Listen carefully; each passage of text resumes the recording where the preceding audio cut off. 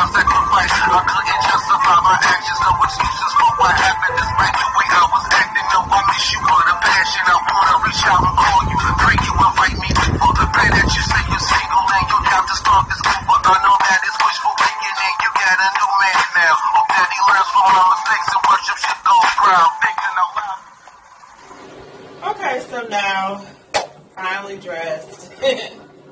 and I got this little bun bang situation with the headband jumping off. And of course my little paparazzi to pull it all together. And uh, me and Chloe about to head out, so we'll be back when we are on location.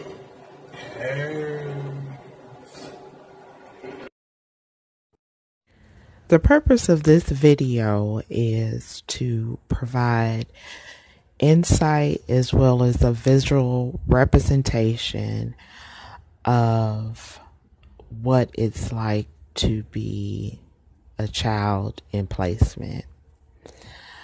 This is it, y'all. This is Metzenbaum. Uh, the first thing that stands out to me when I went back to film this video is the gate. Um, this is the parking lot where the employees parked and the visitors. Visitation was on Sunday from 1 to 3. It was only one day a week for two hours. Um, the gate, which is coming up, you'll see is opened, but it was never opened when I was there. It was always closed, and it only opened uh, by remote um, and by security. And at the entrance, uh, you had to press the button on the intercom and speak with security. And security had to verify that you were supposed to be there um, before opening the gate and allowing you in. If you pay attention later on in the video, you'll see that there is barbed wire on top of that fence. Um, I find that very disturbing because this children's center housed kids from maybe 5 to 14 years old. It was not a prison, it was a children's center, and therefore I find it very disturbing that it was barbed wire on top of that fence. And see, that's what I'm talking about about the gates. Those were always closed. Um, it is now the juvenile court. However, uh, in the late 80s, when I was there, uh, it was a children's center. Uh, the aerial view of this building, I'm sure, is um, looks like an asterisk, and each one of those lines being a wing. There was little boys for um, little boys and little girls, and that pod was for children maybe five to ten, and then there was big girls um, that were for children, big girls and big boys that were for children from 10 to 14. I was in Big Girls because I was nine years old the first time I came there in the fall of 88. And then when I came back in the summer of 89, I was 10. So both times I was in Big Girls. Um, the story I have is about going AWOL. And um, it started with me coming back from a vacation. Somehow my mother uh, arranged for me to be able to go on vacation with her and the family to Disney World. Um, my mother participated in every aspect that she could and she did her best. She permed my hair in that parking lot one time. Uh, she slapped some perm in it and had a jug of water and shampooed and rinsed my hair right in the parking lot. So she did the best she could. It's not much out here to do. Um, there's no playground or anything like that. So a lot of times when the weather was nice and we went outside, we raced a lot.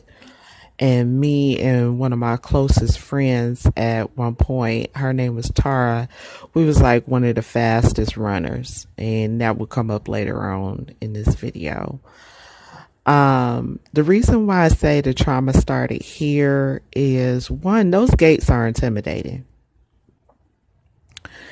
Two, um, a lot of the children here develop behaviors. And I say that because they're young and they're dealing with being in a stressful situation. What I mean by that is, is being in placement there, uh, being away from your family, being away from your parents, your mother, your father, grandparents, your siblings and friends, it's traumatizing because as a child, being away from home, being away from your mother, if you want your mother and you crying for your mother, you know, you're not able to call your mother and speak to her on the phone and get that reassurance and love. You just have to deal with it. She's not coming up there because they're not going to call her and have her come up there.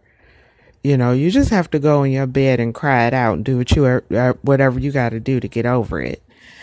But I did learn a lot of good things too from being in placement, which is independence, um, learning how to socialize, um, learning how to move within a crowd, learning how to gauge the room, learning how to read people.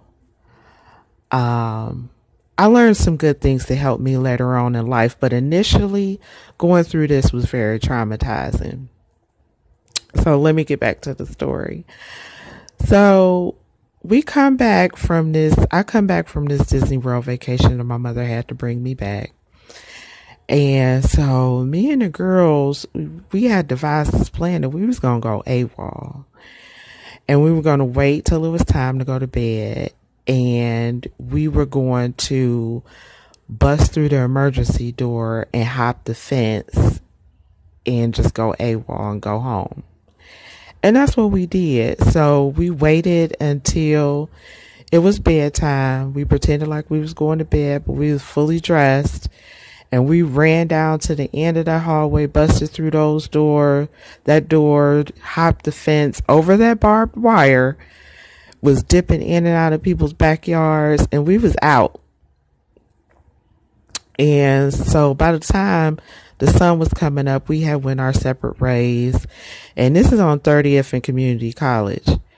Um, it took me from maybe nine o'clock at night till a little after sunrise to make it to my great grandmother's house on 105 Superior. And mind you, I'm nine years old out at three and four o'clock in the morning. Um, in that area, but I made it and, uh, my uncle was sitting on the porch and he was just like, come on and they had to take me back. But yeah, and then the second time I, well, attempted to run away. I wasn't successful. Was while we were on a field trip to the Cleveland Orchestra, which is a university circle. And we were leaving out, and I'm like, my great grandmother's house is a hop, skip, and a jump away from here. So I'm like, you know what? I'm about to just go for it. And that's what I did. I just took off running and the residential worker, see, that was the b- doors that we busted through right there, that blue door, down that staircase through the parking lot, and we hopped that fence and that barbed wire. Um, so I took off running. This is from the Cleveland Orchestra. You over there by the duck pond. And the residential worker, she was on my ass at first, y'all. But I dusted her. I went into turbo mode. I was knees to chest and I was out. So this girl who I thought was my friend, Tara, she was one of the other fastest runners in our pod. I noticed that she like on my ass too. You know, I done dusted the program worker, but Tara is on my ass. So I'm like, I wonder is she running with me or is she running after me? And she was running after me. She tackled me to the ground. She was bigger than me. And in those couple of seconds that we was wrestling, I was trying to get away from her. The residential workers caught up to us and restrained me and put me back in the van. And so in another video, the one before this one where I was talking about unresolved trauma and addiction, I was talking about some of uh, the girls that I met here who I thought were my friends that I ended up falling out with. And Tara was one of them. Uh, our um, friendship never recovered from that. And what it taught me was, is that, you know, people will love you and show you love and be your friend, um, while it's convenient for them. Now, she didn't want to run away. She wasn't running away with me. She was too scared to run away. But she didn't want me to run away either. She wanted to keep me there with her. And so, yeah, our our friendship didn't recover from that. And this is the field we used to race in. So I couldn't really get anywhere else but around the grounds to give you guys a tour. But you see that barbed wire and how intimidating that is. And so this is it, you know. And so that's why I say the trauma started here because I already had issues at home with my family and with my stepfather. And then I was taken away from home. I was here. I was alone. I was surrounded by people, but I was alone, you know. I couldn't call my mother when I missed her. I couldn't see her when I missed her. I spent a lot of days crying and sad. I had started developing anger issues and behaviors. But later on in life, um, it helped me because it taught me how to move within the crowd. Like I said, to gauge a room. It taught me how to uh, read people, and all those things helped me as I got older and uh, began to work and became an adult. So um, it was traumatizing while I went through it, but it also taught me some good things too that I'm very grateful for. Um, so thank you for watching my video. Please thumbs up, drop a comment. If you were ever at Metzenbaum or know someone who was at Metzenbaum, please let me know. Uh, thanks for continuing to rock with me. And I hope you enjoy this tour of Metzenbaum, my AWOL story.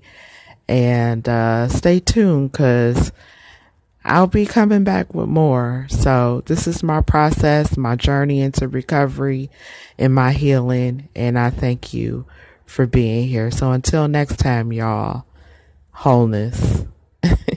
Peace.